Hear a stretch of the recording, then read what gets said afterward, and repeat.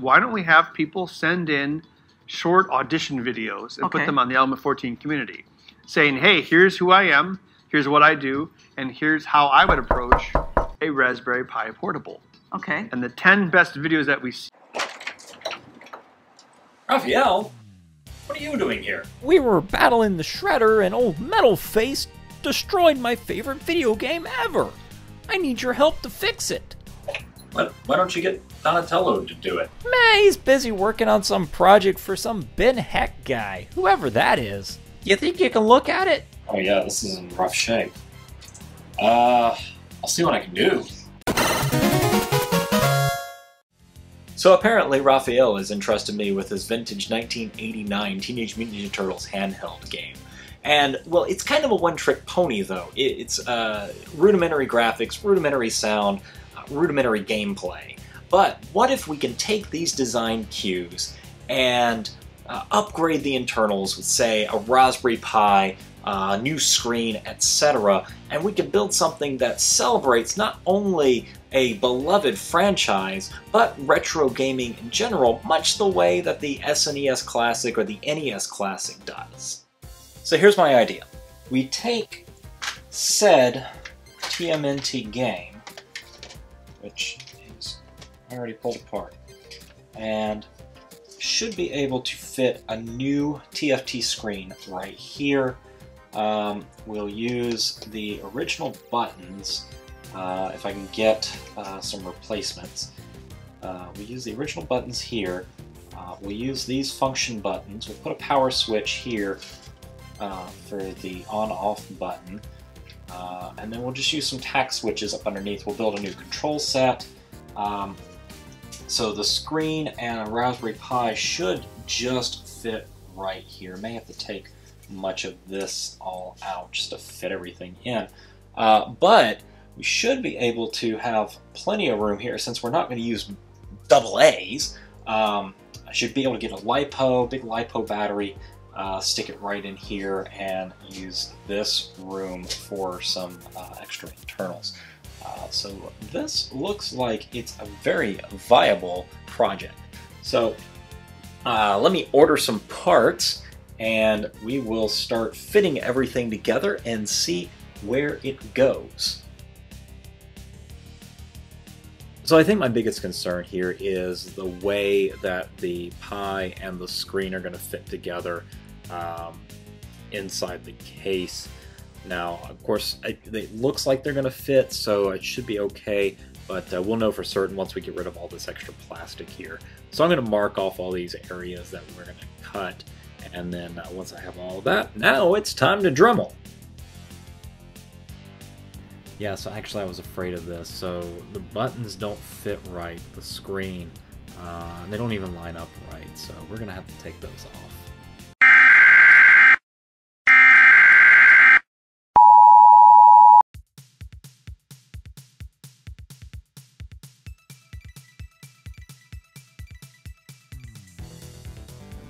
So here are the buttons that we removed, and uh, of course, you got to um, you can actually see in here that they just they just don't line up right. So we're going to actually create a new pad, a new controller to go in here.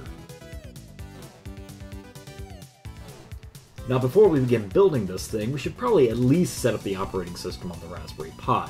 And since this is a Pi-based gaming system, we're going to use the tried and true RetroPie. So we're just going to jump over to the RetroPie website and grab the image. Once that's finished downloading, use an app like Etcher to flash it onto a bootable SD drive. Disco! Now I've got to reconfigure this workstation with the HDMI monitor, the OTG cable, and the power supply in order to set up the Raspberry Pi for the first boot. Okay, we've got a splash screen. This is a good sign. So from here, let's go into the configuration menu and set up the Wi-Fi. Now we need to enable SSH, so we're going to go into raspi config, then to interface options, SSH, and enable. Now back in the main RetroPie interface, I'll go ahead and shut down the Pi so that I can clear all this stuff off my workstation. Now back on the Mac, I'll just fire up terminal and SSH into the Pi. Now I haven't changed any of the credentials yet, but you absolutely should do that as soon as possible. Now I'm going to be using Adafruit's 2.2 inch Pi TFT hat as the primary display. So I need to enable support using the script that they were so good to provide. I'll use option 6 for the manual configuration, and give it a few minutes for everything to install. I also need to set up Adafruit's retro game script so I can quickly assign the GPIO breakout pins from the screen module. We'll use the PiGRRL 0 settings for simplicity. Okay, the initial setup is complete, and it's time to build. Okay, so I've picked up some Bakelite perf boards so I could uh, build a custom controller without having to roll my own PCB. Besides, it's quicker and easier if I just hand wire everything, and I'm going to be better able to make adjustments and changes as necessary, if, if I need to. So, to start, I just need to lay out my buttons and, and make sure I have the correct spacing by using the front panel of the game. Then I'll press fit my pack switches into the board and double check the spacing as I go. Once everything is lined up right, it's time to solder.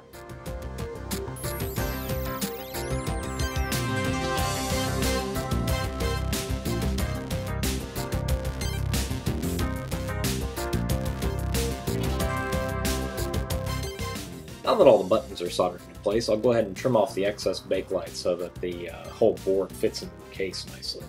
Of course, this is why I'm using Bakelite instead of fiberglass because, well, it's I can cut it with scissors. Uh, I don't have to get out the Dremel and all the safety equipment, so, you know, just to make a simple trim. I'm also going to need to cut out a notch here to fit this big beefy power button that I'm going to install separately. Now let's start working on this screen assembly.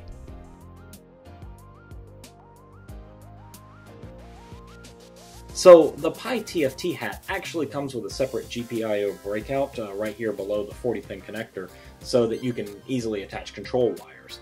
Uh, this is how I'm going to connect the buttons. And I'm just going to use Adafruit's default layout for their retro game script to wire everything for now. Okay, just a quick orientation check.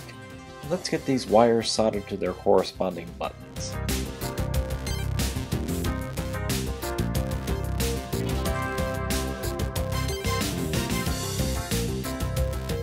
Okay, now, moment of truth. It's time to solder the Pi to the screen module with all the wires sandwiched in between.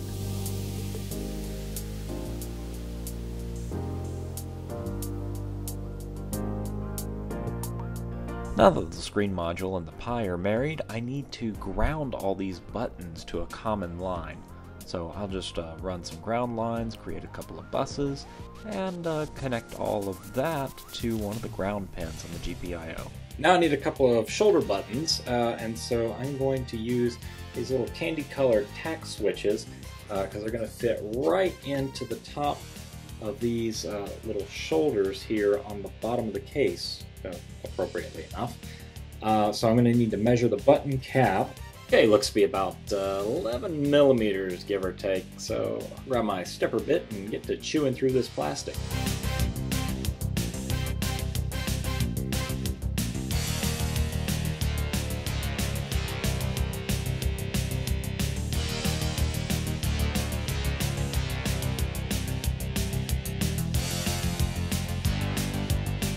Ah, looking good. So now we need some onboard audio. Let's take our USB audio adapter and, and tear off these 3.5 millimeter jacks as we're not going to need them. Um, instead, we'll just solder the leads to our speaker directly to the pads where the headphone jack was. It doesn't really matter which channel we use uh, because we're only going to output mono sound. All these old games did just fine with mono sound anyway. I mean, it's not like a lot of TVs back in the day had stereo capabilities anyway kind of reminds me of the uh, kind of reminds me of the old uh, Game Boys, you know, dot matrix with stereo sound, but only one speaker. Like, whatever. Now we should at least make sure it works.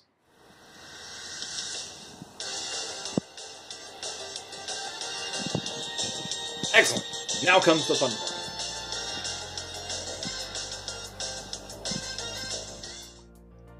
I need to desolder these wires leading to the USB plug because, well, this just isn't going to work. Oh yeah, and you might want to take note of where each wire is connected to, just in case. Anyway, with the USB disconnected, I'll just cut a micro USB cable that I have lying around and uh, leave the micro plug and just a few inches worth of cable. Strip it down and solder the individual wires onto the appropriate pads. Add a little dab of hot glue to reinforce the connections. And then we've got us a micro USB audio adapter that uh, should fit just like so. Now, the last component I have to build before we put this whole thing together is the power supply. Now I'm going to use a 2000 milliamp hour LiPo battery to, to power the thing with, but I'm going to need a way to charge it and to distribute that power. Uh, so for that, I'm going to use this Power Boost 1000 from Adafruit. Uh, it's actually pretty simple to wire. Uh, the battery plugs into this little jack right here, uh, and we just have to run a couple of wires from these terminals. Uh, one goes to a 5 volt pin, and the other goes to the ground pin on the Pi. I'm also going to wire this little clicky button switch that I have uh, that I'll use to toggle the power. Now let's get these things soldered up, and uh, it'll be time to put this bad boy together. So I've run into a little bit of a snag on assembly. Uh, the speaker that I'm using is just too big to fit inside the shell, so I'm going to have to find a smaller speaker driver to use. Um, now, fortunately, the fine folks over at the Ben Heck Show uh, happened to send me another speaker as part of the bill of materials for Ben's original build. Okay, let's get this bad boy put together. We're going to start with the power boost unit. Going to wire that up to the 5 volt in and the ground pin on the Raspberry Pi. Then we want to route our power switch into its appropriate position. Alright, looking good. Now we need to connect the shoulder buttons to the main controls. We're going to start by running ground lines from the ground bus on the controller out to the shoulder buttons which I've attached to these small little pieces of perf board that I've glued into place. Then we're going to connect our signal wires that we soldered onto the screen module earlier. Alright, everything's fitting great. Now we just need to add a little hot glue to hold everything in place and to insulate our wires. Okay, the last thing we have to do is mount our USB audio. So I gotta run the cable right around through here, plug it in, and uh, cut a little piece of mounting square. We're to tack the speaker right down onto the battery. And I think we're actually finished. Let's give it a shot. It works! it works. It works. Okay, one more thing I've got to do, and see. Always got to sign our work.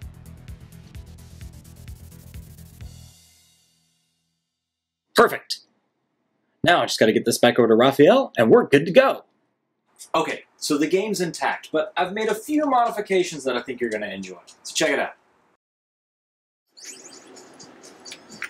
Wow, this is radical. This is way better than the game I used to play.